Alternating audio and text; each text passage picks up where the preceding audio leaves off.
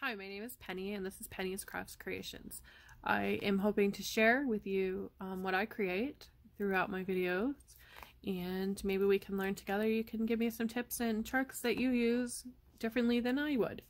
So today I'm going to show you how to make this flower. It is a sunflower for my sunflower journal that I am creating and I got the inspiration from this paper that I picked up on a trip to Hobby Lobby. So you're going to need um, to punch out three shapes of the flower of your choice. I chose this one. I call it my poinsettia flower because it reminds me of poinsettias. And I use it a lot during the holiday season for that. And three of the shapes. And I went ahead and crimped them to give them more texture. And you're going to need three different colors. I went ahead and did this one already and started this one. And you just need to use the tips only and I just slide it across the rubber stamp. And the reason you just need to do the tips is because that's the only part that's going to show on most of the flower. Um, on the top one, you want to do the, the whole thing. And the texturing from the crimping also gives the flower more dimension on the top. And I go ahead and I saturate the tips with the ink only because you really want to give that accent in more dimension. So you're just lightly brushing them and that's it. set the inks aside. And then I'm going to use the, the ball end of this um, flower press and I'm just going to go around the outside of the flower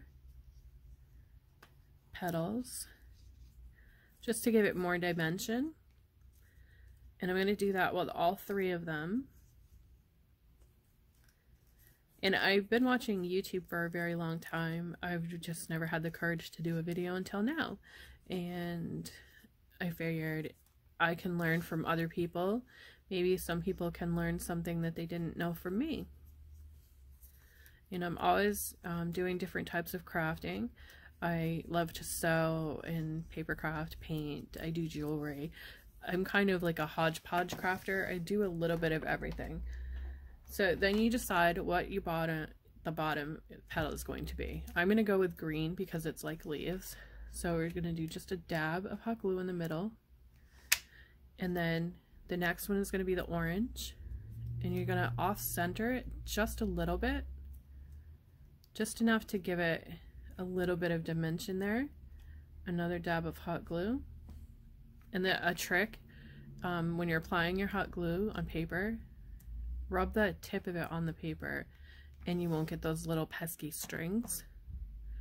And then off center that one. So I'm going to go with this and it has a pearl in the center and it's flat on the back side. So I'm just going to take my hot glue and put it on there and again, I'm going to rub it along the side to get rid of those strings. And just kind of center it